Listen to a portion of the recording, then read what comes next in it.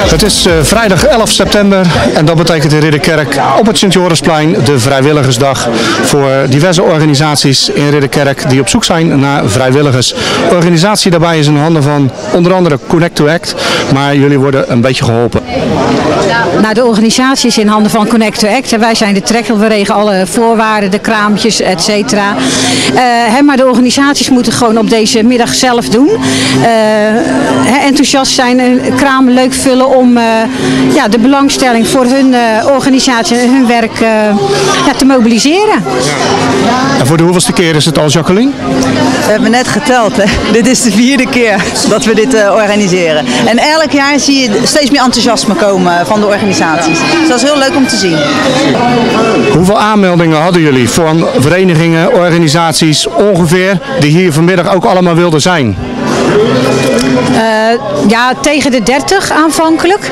Uh, dus gewoon volle bak. Maar ervaring leert dat uh, nou ja, ook door het verschuiven mensen weer niet konden vandaag.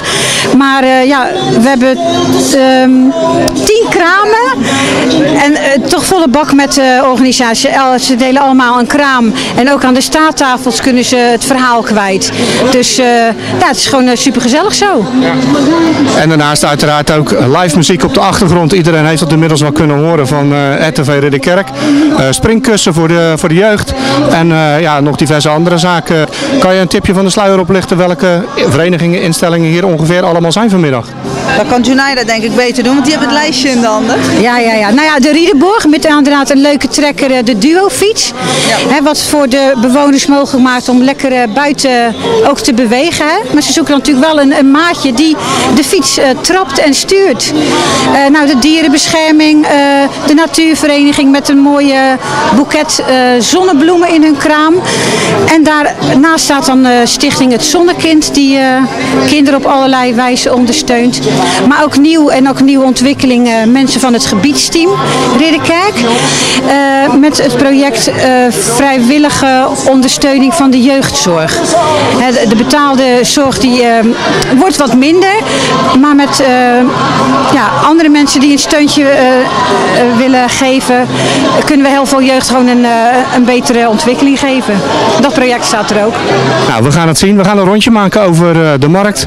En ja, we gaan kijken uh, welke vrijwilligers gezocht worden. Wat voor type uh, de mensen precies uh, willen hebben binnen hun club of vereniging.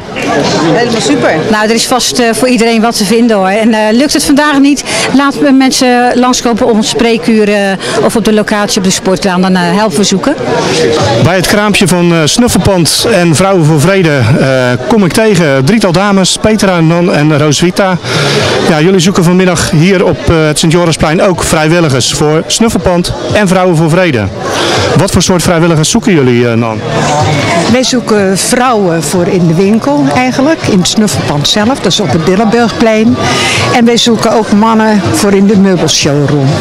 En dat is elke woensdag en één zaterdag om te verkopen in de maand. En zoeken jullie daarnaast ook wellicht nog meer vrijwilligers op andere dagen of alleen specifiek voor die dagen? Specifiek voor die dagen. Dat zijn de dagen waar we op begonnen zijn, op de woensdag. En die één keer in de maand de zaterdagverkoop. En dat is eigenlijk in de loop der jaren zo gebleven. Dus vandaar dat we op die dagen mensen zoeken. Mensen vragen zich ook altijd af, het snuffelpand. Uh, iedereen kent het denk ik wel, zowel op Slikkerveer als hier in het Ridderkerkse centrum. Uh, ja, waar gaat dan zeg maar de inkomsten naartoe? Volgens mij naar heel veel verschillende doelen. Ja, naar allerlei uh, goede doelen. En per maand wordt dan uh, uitgezocht welk doel we dan gaan kiezen. Dat besluiten we gezamenlijk. Afgelopen keer hebben we een woning in Bangladesh gesponsord. En volgende maand vrouwen voor de vrouwen ja, voor vrede op de Molukken. En elke keer weer een ander kleinschalig project. En hebben jullie ook een idee wat er op jaarbasis zeg maar, wellicht uh, ja, wordt binnengehaald op deze manier voor al die goede doelen samen? Jaren geleden zaten we al aan het miljoen. Dus uh, even kijken, deze maand geven we, of dit jaar geven we elke maand 1500. Hè? Ja, 1200, 1500. Dus het zijn echt aanzienlijke bedragen?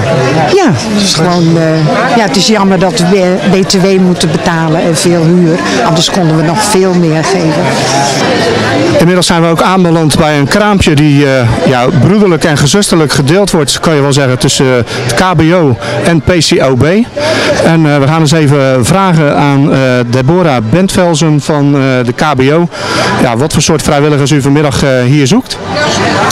Nou, wij hebben behoefte aan diverse mensen binnen het bestuur. Wij hebben een wat ouder bestuur. Ik ben een van de jongeren. En wij zouden het graag aangevuld zien. Daarnaast, uh, ja, zeg maar PCOB met uh, Arie van het Hof. U zoekt ook vrijwilligers? Natuurlijk zoeken we ook vrijwilligers. Maar het valt niet mee, want de mensen werken tegenwoordig veel langer. En doordat ze langer werken, hebben ze het idee dat ze nog niet aan een ouderenbond toekomen.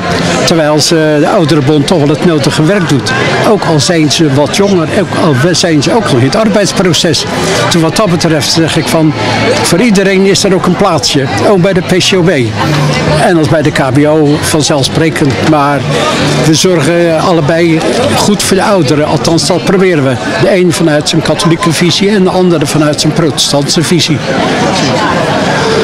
Is die visie ook nog inderdaad uh, belangrijk zeg maar, voor uh, de leden? Of, of zegt u van nou, ja, als er een goed bestuurslid zich aanmeldt en uh, hij heeft eigenlijk niet zoveel met religie op de achtergrond, mag hij dan wel lid worden van de club? Ja, dan verwijs ik toch naar onze buren. Precies. Ja, wij hebben toch wel een identiteit. En die willen we ook uitdragen. Ja. En voor de goede orde, de andere buren, dat zijn dan zeg maar eh, de leden van de AMBO. Die uh, nog weer een kraam verder zitten, die we uh, vorig jaar ook toen geïnterviewd hebben. u wou ook nog wat toevoegen, meneer Van het Hof? Ja, we hebben wel goede contacten onderling, gelukkig. Maar ook wij als PCB proberen toch het christelijk initiatief, wat daarin gecombineerd is. En dat wil ook de leden graag. Want ze voelen zich wat meer thuis. En dat thuis, ja, daar moeten we als oudere bond dan ook een beetje verzorgen. Ja. En dat vandaar dat er PCOB zijn en de ander KBOB. Ja. Ja? Van de Riedenborg praten we met eh, Jacqueline Jongeneel over de Riedenborg, die ook vrijwilligers zoekt hier vanmiddag. Ja, dat klopt. We zijn eh, altijd op zoek naar vrijwilligers. We hebben er vrij veel binnen onze organisatie, maar ja, we hebben ook nog heel veel open vragen. Ja, iedereen kent de Ridderkerk de Riedenborg. Uh, en denkt daarbij natuurlijk van, uh, ja, daar zitten een heleboel oudere mensen van Ridderkerk. En uh, daar werken er ook gewoon nog heel veel mensen om voor zorg en dat soort zaken te zorgen. Uh, maar daarnaast ook dus heel veel vrijwilligers. Ja, dat, uh, dat klopt zeer zeker. We hebben ruim 200 vrijwilligers. Je ziet dat er een verschuiving is in de zorg. Uh, mensen moeten langer zelfstandig thuis blijven wonen. Dus er is natuurlijk ook minder geld voor de zorg. Dus zeker voor het welzijn van de ouderen zijn we op zoek naar vrijwilligers. Dat is heel verschillend. Het kan zijn van ja, naar de dagverzorging. Mensen die dus nog thuis wonen, maar beginnend dementerend zijn, worden opgehaald met een busje. Daar zoeken we chauffeurs voor. Die worden overdag zijn ze aanwezig bij ons op de dagverzorging. Daar zoeken we vrijwilligers voor. Het kan ook in Riedenborg zelf zijn, het helpen met koffie schenken. Uh, ja, we gaan zelfs zwemmen met de mensen. Er zijn heel veel mogelijkheden om als vrijwilliger aan de slag te gaan binnen Riedenborg. En dat geldt voor zowel mannen als vrouwen? Zeker ook voor mannen. Want we hebben ook een aantal oudere heren. Er is een biljartclubje. Nou, dat is heerlijk als er ook een man bij is. Uh, we zoeken nu ook uh, wat mannen om maaltijden rond te brengen in de wijk. Maar ook in Barendrecht en in Dordrecht worden die maaltijden bezorgd. Uh, we zoeken ook een heer om naar een echtpaar te gaan. Waarvan de meneer dementerend is. En mevrouw graag even een middagje even weg wil. Al is het maar naar dorp een kop koffie drinken of zo. Daar zoeken we ook heren voor. Dus ook heren zijn van harte welkom. Waar moeten ze zich aanmelden? Uh, dat kan gewoon bij de Riedenborg. En als ze dan vragen naar het vrijwilligerswerk, dan uh, krijgen ze uh, of Ellie Monster, mijn collega aan de telefoon, of mijzelf. Op de vrijwilligersmarkt komen we ook tegen Marjoleine Wezemer van de gemeente Ridderkerk, beleidsadviseur onderwijs en welzijn. En uiteraard helemaal betrokken bij deze vrijwilligersmarkt. Ja, dat klopt. ik, ik ben hier even heen gekomen om te kijken welke organisaties zijn. En dat is, dat, is, altijd leuk om te zien. En ik heb gelijk even bij Sport en Welzijn laten weten dat we ook nog uh, vrijwilligers uh, voor het vrijwilligers van het jaar uh, zoeken en vrijwilligersgroepen. Want er is elk jaar zeg maar, de Jaap van de Graafprijs voor de vrijwilliger en een groepsprijs voor de organisatie van het jaar. Ja, dat klopt. voor de, de Jaap van de Graafprijs voor de individuele vrijwilliger en hebben we ook nog een prijs voor de groepen dus, of projecten. Dus dat kunnen mensen zelf. Het gaat om een groep mensen die iets organiseren of iets doen. Ja. Voor wanneer moeten mensen zich daarvoor aanmelden en waar eigenlijk? Voor 12 oktober kunnen mensen zich bij mij aanmelden. Ja, het, heeft voor, het heeft in de krant gestaan en komende donderdag komt er weer een oproepje in de krant. Hoeveel verwacht je er dit jaar? Nou, ja, ik hoop dat we evenveel als vorig jaar krijgen of meer. Vorig jaar was het, liep het weer heel goed. Dus, eh, Oké, nou goed, ja, we zijn er net mee gestart eigenlijk, zei dat. Dus eh, er kunnen nog heel veel eh, gaan komen. Ja, zeker. Ik hoop dat er nog heel veel mensen eh, aanmeldingen opsturen. Eh, de vrijwilligersmarkt eh, voetbalvereniging SV Bolnes. Faisal, hoe komen jullie eraan toe om eh, ja, hier ook te zoeken naar vrijwilligers? Nou op zich zijn we gewoon op de club heel erg bezig om eh Bonnes ook weer gewoon lekker terug op de kaart te brengen. Eh, de jeugd eh, die, eh, die groeit ook en eh, nou, zodoende gaan wij gewoon mee. En eh, we willen dus laten zien dat we dus eh, actief zijn. En we zijn ook op zoek naar vrijwilligers, want die hebben we natuurlijk nodig. Dus vandaar dat ik hier, eh, hier vandaag ook ben ja, met, eh met Bonnes. Ja, een kraan vol met eh, mooie shirtjes eh, en eh, vooral ook mooie bekers en voetballen. Ja, dat, dat moet de jeugd zeker aan gaan spreken die hier vanmiddag rondloopt. Maar zoeken jullie ook met name ja, wellicht oudere vrijwilligers of jonge vrijwilligers? Nou, eigenlijk is dat best wel breed. We zoeken ook wat jongere vrijwilligers. We hebben ook een kaliberus waardoor we dus, laten we zeggen, stage kunnen aanbieden. We hebben ook oudere vrijwilligers natuurlijk nodig. Die, die, die zijn ervaren in heel veel dingen en die brengen ook heel veel balans. We hebben een, we hebben een oudere groep die eh, doen onderhoud. Eh, daar komen mensen bij elkaar die, laten we zeggen, niet alleen klusjes doen, maar ook gewoon niet, eh, ja, hoe moet je dat zeggen, eigenlijk niet vereenzamen. Of, eh, en dat soort dingen die dus bij elkaar komen. We hebben trainers nodig, vrouwen die in de keuken of in de schoonmaak, achter de bar. Eh, dat blijft, gewoon- daar blijft gewoon beweging in. En we hebben een aantal leuke vrijwilligers en dat team moet gewoon groeien, dus vandaar. Want Bonnes zit als vereniging in de lift, ja, dus ook het aantal vrijwilligers moet omhoog. Ja, dat klopt helemaal. Ja. Dus eh, je krijgt gewoon, je hebt gewoon meer vrijwilligers nodig. Want we groeien op dit moment. En dat is, eh, dat is heel goed. We zijn er hard mee bezig. Dus vandaar dat ik hier ben. Bij de kraam van Protestants-Christelijke Stichting IJsselmonde Oost eh, treffen we Ellie Monsauer aan. Hoe gaat die vandaag? Redelijk goed. Het is prachtig weer. Er is aardig wat eh, volk op de been. En we proberen natuurlijk zoveel mogelijk mensen aan eh, te klampen om eh, ja, belangstelling te krijgen voor ons kraam. Wat is de Protestant-Christelijke Stichting IJsselmonde Oost voor een organisatie precies? Ja, nou wat de naam al zegt, het is een eh, protestant-christelijke organisatie en wij bieden woonbegeleiding aan aan mensen met een verstandelijke beperking. En ehm, de stichting bestaat uit vier eh, hoofdlocaties, twee 24-uursvoorzieningen, zowel Ridderkerk als in Barendrecht. Dat woord zegt het al, dus echt 24 uur eh, is daar begeleiding. Maar we hebben ook heel veel mensen die wonen ehm, ambulant, noemen we dat. En die, die wonen verspreid over Ridderkerk en over Barendrecht. En die krijgen dan hulp in huis of aan huis. En bij elkaar zijn het eh, rond de 130 cliënten. Even zoveel eh, medewerkers. En ja, eh, in eh, het kader van alle veranderingen van de WMO zijn we heel hard op zoek naar mensen ja, die, die iets voor kunnen betekenen voor onze, voor onze doelgroep.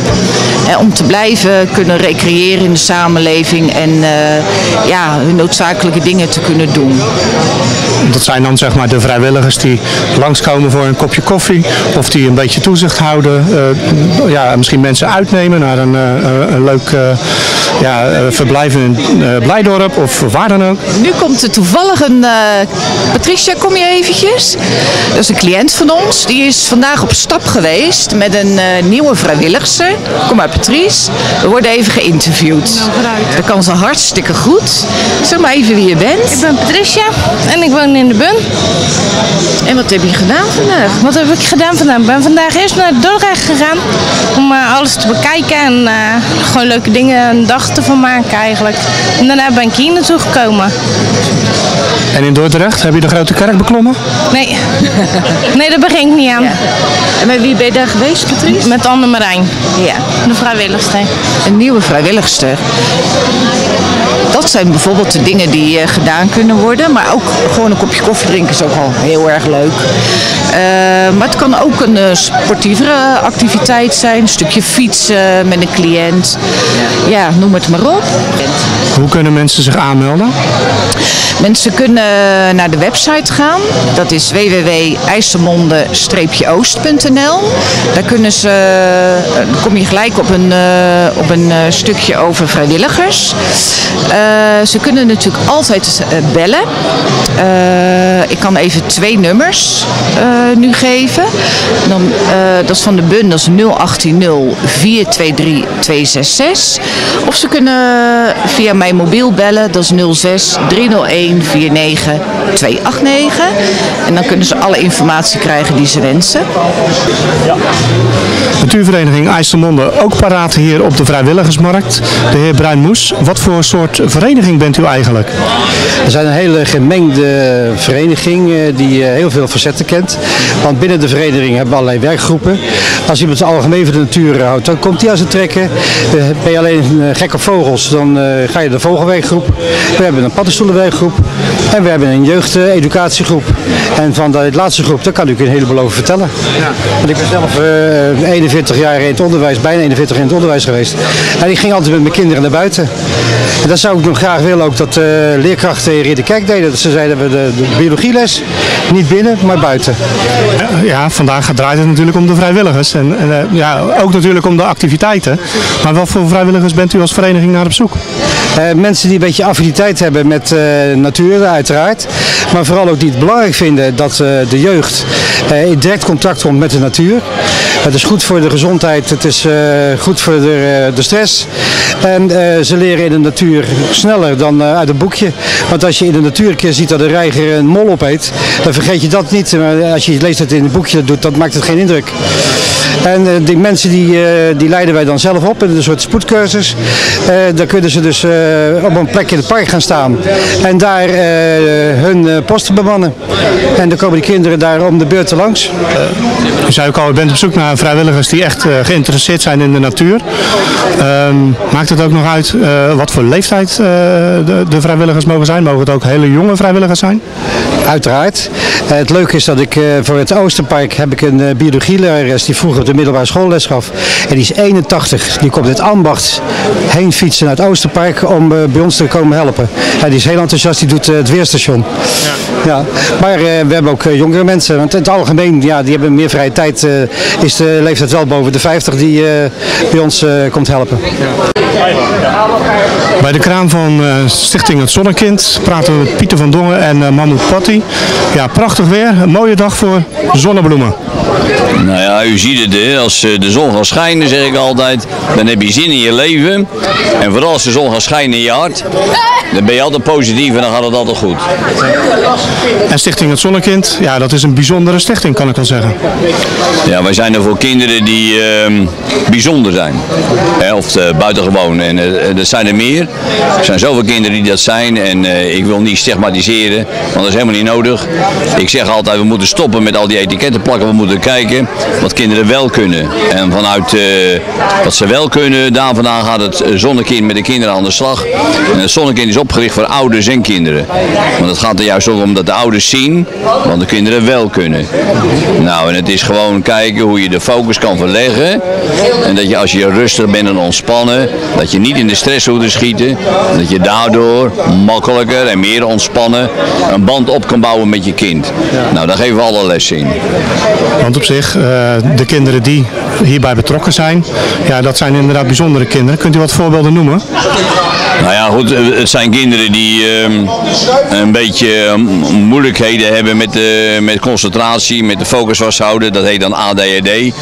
Of kinderen die ehm, ja, misschien eh, heel intelligent zijn, maar wat meer problemen hebben met het maken van contacten. Dat heet dan autisme. Maar goed, het is, ik vind gewoon, dat, daar geloof ik namelijk niet in. Ik moet stoppen met al die etiketten plakken.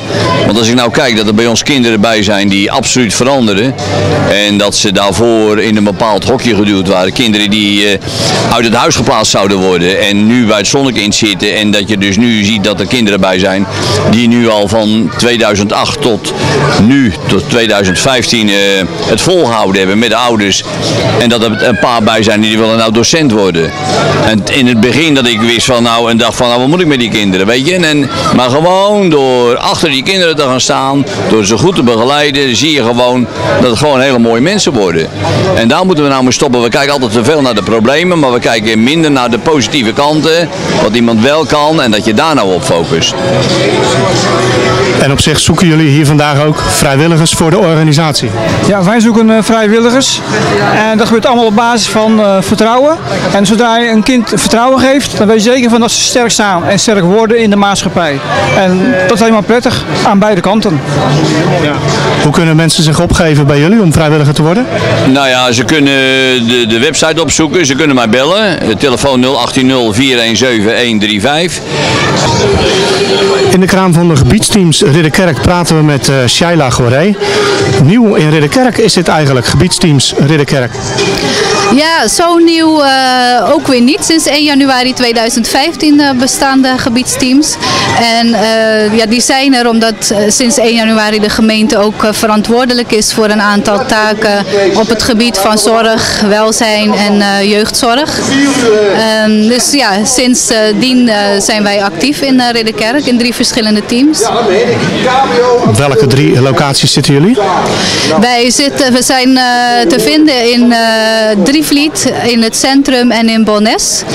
En via de website van de gemeente ridderkerk.nl kunnen mensen zien op welke locaties wij te vinden zijn en wanneer wij inloopspreekuren hebben. Jullie staan hier ook vandaag op de markt voor vrijwilligers. Uh, wat voor soort vrijwilligers zoeken jullie? Nou, wij zijn hier niet speciaal om uh, vrijwilligers te werven. Uh, wij maken wel regelmatig gebruik van vrijwilligers. Uh, we zoeken dan contact met de verschillende organisaties die er zijn. En we zijn er vooral om bekendheid te geven aan het gebiedsteam. En nou ja, dat wij er zijn. Dat mensen bij ons terecht kunnen met vragen op het gebied van opvoeding, welzijn of voor advies en ondersteuning. Ja, tot slot op de markt bij Connect to Act uh, en Sport en Welzijn. Uh, een prachtig mooi voorbeeld. Eddie Rondelee. Jij bent vrijwilliger. Ik ben inderdaad vrijwilliger bij uh, Sport en Welzijn, bij Connect to Act. Ja, dat klopt. En jij zoekt collega's? Ik zoek inderdaad collega's voor het project Werken met vrijwilligers in de jeugdzorg. En dat is inderdaad een vrij nieuw project. In die zin van, sinds 1 januari van dit jaar is de gemeente verantwoordelijk voor de jeugdzorg. En wil dat zo dicht mogelijk bij de mensen organiseren. Maar ook zoveel mogelijk met mensen die daar dichtbij zijn. Precies. Ja. En wat jullie doen, dat is eigenlijk ook samen met een aantal andere partijen ja, iets moois oprichten. Ja, er zijn al verschillende organisaties die al heel veel doen. Bijvoorbeeld uh, Homestart of Schuldhulpmaatje of uh, um, uh, Vivens, die doet ook al wat dingen. En wat we nu willen proberen is van iedereen heeft zo'n klein stukje van de taart. En als we dat allemaal bij elkaar brengen. En in een zin is bijvoorbeeld een vraag over schulden. En de kinderen die hebben ook iets te maken. Die zijn ook een beetje slachtoffer van, van die schuldproblematiek. Dat ook daarop leren in te spelen. En dat kan bijvoorbeeld zijn dat een kind omdat er schuld is. En ook een beetje zich beschaamd voelt. Niet naar een sportvereniging durft te gaan. Dus wat we willen doen als een nieuw initiatief. Om bijvoorbeeld een sportmaatje te zoeken. Dat iemand die al op een sportvereniging zit met zo iemand uit dat gezin die meeneemt naar een sportclub. En op die manier worden de grenzen een klein beetje zeg maar, do doorbroken. Dat is dan een, een lichte vorm van hulp, maar dat kan voor zo'n kind heel belangrijk zijn om mee te blijven doen. Ja. En wat voor soort collega's als medevrijwilligers uh, zoeken jullie? Nou, we zoeken eigenlijk vooral mensen die, die een beetje ervaring hebben met opvoeden en opgroeien van kinderen. En dat kunnen volwassenen zijn, maar dat kunnen bij wijze van ook kinderen zijn. Uh, kinderen kunnen op elkaar helpen. Het, eigenlijk het, het, grote woord is eigenlijk een soort maatjes voor elkaar. Je kan ook denken aan een maatjesgezin. En wat is een maatjesgezin? Bijvoorbeeld een gezin dat redt het niet zo goed. Bijvoorbeeld een scheiding achter de rug of uh, allerlei problemen, noem maar op. En dat gezin redt niet alleen. Als zo'n gezin kunt koppelen aan een ander gezin die wel ervaring heeft. En vader helpt vader en moeder helpt moeder en kinderen helpen kinderen. Zo'n gezin aan elkaar koppelen, dan noemen we dan ook een steungezin of een maatjesgezin. Nou, dat zijn hele mooie initiatieven om mensen te helpen. En dan hoef je niet per se naar de psychiater toe.